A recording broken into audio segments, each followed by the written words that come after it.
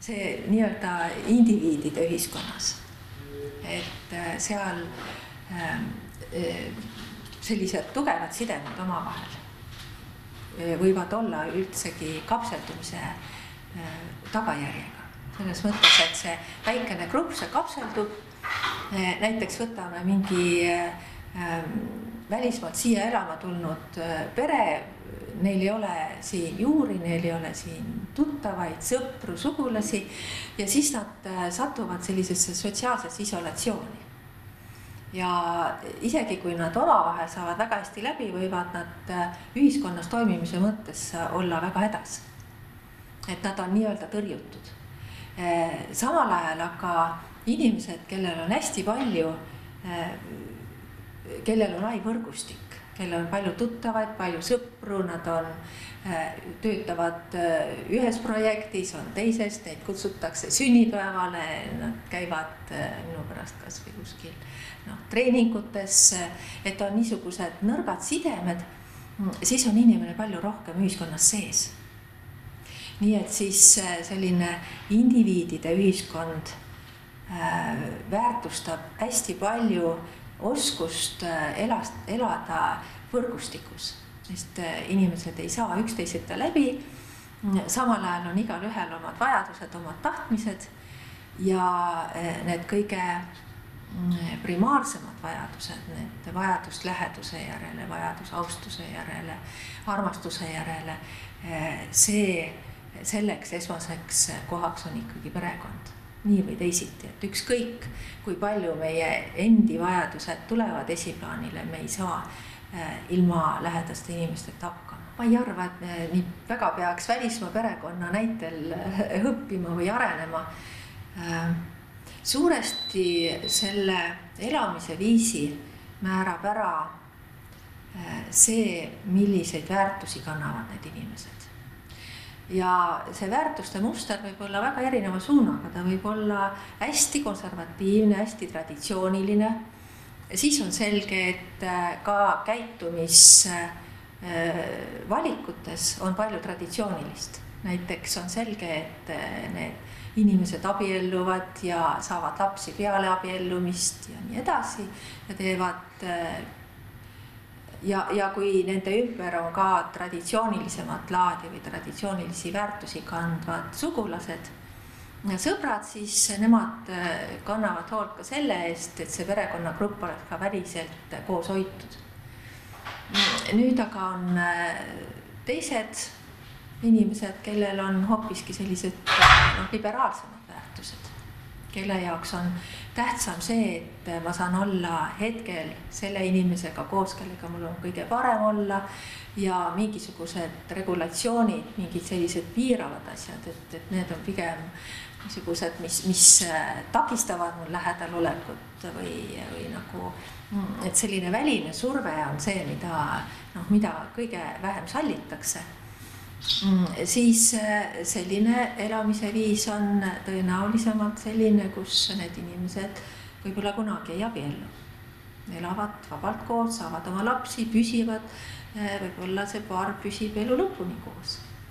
Äh, mõne teise puhul aga elavad natuke koos, võib-olla tuleb ka laps, siis elatakse järgmise partneriga koos, võib-olla tuleb ka laps ja siis tekib niisugune noh, mõnes mõttes nagu siis võrgustik, perekond kui võrgustik, kus on hoopis teistsugused äh, traditsioonilisest mõttest erinevad äh, kooslused ja, ja ka sugulussuhted, kus on, ütleme noh, täisbioloogilised suhted või poolenisti bioloogilised suhted, omad äh,, oma isa või ema või omandatud isa või ema, kes on siis sellesse peresse bioloogilise vanema poolt toodud, äh, omandatud õed-vennad, äh, poolõed-vennad, päris õed-vennad, nii et et, et see on see niisugune hästi kirju pilt ja inimestel on äh, igapäevased valikud.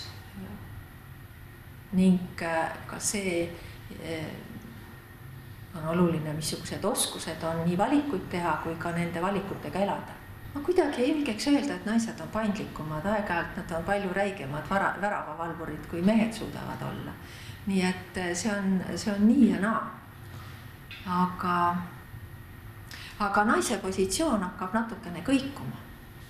just seesama väravavalvuri funktsioon, et eh, nüüd, kui me räägime noh, palju siin aega tagasi lähe-, on, pole ehk kümmet aastatki, kui me hakkasime rääkima aktiivsest isadusest ja isaks kasvamisest ja. isapuhkus. isapuhkusest, no see tuli palju hiljem, aga, aga, aga tulid hoopis teised teemad. see oli see, kui vanemahüvitist hakati välja töötama, kui räägiti primaarselt kui, kui ema palgast ja siis mingist hetkest eh, tõusid isad püsti, ütlesid, et aga mis ema, emad meie oleme ka olemas et äh, see, kui äh, ja sellest äh, aktiivse isaduse retoorikast on nüüd edasi arenenud selline ühise vanemluse või, või jagatud vanemluse retoorika, et, et mõlemad vanemad hoolitsevad oma laste eest, mõlemad võtavad kasvatuslikke ülesandeid ja arengulisi ülesandeid ja vaat sellisel juhul nüüd ei saa enam öelda, et üks või teine on vähem paindlik. sest et selles jagatud vanemluses ise on juba paindlikkus ja kui nad sellega saavad hakkama, siis eh, saavad nad hakkama ka teiste raskete ülesannetega. no kui te ütlete, et naised on olnud jäigemad väravaid, siis ometigi tundub, et nendepoolne selline õhkamine ja soov on see, et mees oleks aktiivsemalt kodus kohal nii mitte ainult füüsiliselt, vaid ka tegevuslikult ja hingeliselt ja emotsionaalselt. Nad on seda alati tahtnud ja nad on alati osanud seda väga ka hinnata, kui äh, näiteks äh, noh, see on varasematest päris äh, möödunud sajandi seitsmekümnendate aastate uurimustest tuli välja, et kui isa näiteks ta, võib-olla ta ei viitsigi seal kodutöid teha, ta ütleb, et või ta mängib lapsega, sellest piisab, et ema on õnnelik. et, et isa osalebki ei olegi rohkem vaja. aga see naiste paindumatus, mis ma rääkisin ja väravavalvuriks olemine, see pigem on seotud ikkagi seaduse poolt antud õigusega, selle seadusliku praktikaga, et, et lapsed on nagu rohkem ema omad ja seda toetas ka igapäevapraktika, kus tõepoolest ema oligi põhiline kasvataja. siis, kui ei räägitud veel sellisest jagatud vanemlusest ja, ja aktiivsest isadusest ja, ja sellest, et, et ka seadused toetavad isaks olemist. noh, isapuhkusega kasvõi. kui isa rollist rääkida, kas see on siis muutunud juba? tahtsin küsida, kas on no, muutumas? on ja me tegime just sellel nädalal analüüsi eh, selle kohta. Eh, tahtsime teada, et kuidas areneb eh, teismeeas. Noormeestel eh, mehelikkus just nende enesehinnangutes. ja tuli välja, et eh, on kolm niisugust eh, mehelikkuse enesehinnangu tüüpi. üks on väga klassikalist mehelikkust või sellist macho tüüpi või, või maskuliinsust meenutav tüüp, mille me nimetasime äh, vähehoolivaks, vähe emotsionaalseks, vähehoolivaks tüübiks kes, eh, kui nüüd vaadata neid feministlikke käsitlusi, siis käib hästi, hästi eh, nendega kokku, kes on sellised nii-öelda võimu haaravad või kus võimupositsioonil mees on kõrgemal võimupositsioonil kui naine ja. ja siis teine tüüp oli selline hooliv tüüp. Neid oli kõige rohkem neid oli kuskil nelikümmend kuus protsenti, kellel oli nii eh, enesehinnangust nii naiselikke jooni kui mehelikke jooni, tähendab, kes ei häbenenud näiteks eh, olla hoolivad, mõistvad, mida klassikaliselt jällegi eh, seostatakse naiselike joontega. ja siis kolmas grupp oli selline segatüüp või, või eristumata maskuliinsusega tüüp, kelle puhul mõle, noh ei olnud väga tugevalt maskuliinseid jooni enesehinnangus. Eh, samal ajal eh, väga palju ei olnud ka naiselikke jooni, aga, aga oli siiski rohkem kui sellel nii-öelda maskuliinsel klassikalisel tüübil.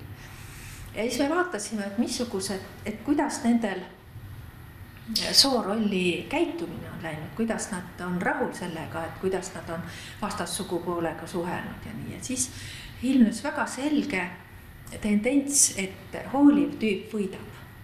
tähendab ta, kui ta on, kui ta leiab, et ta ise on hooliv ja ta ise on mõistev, siis see kajab vastu ka tema suhetest vastassugupoolega.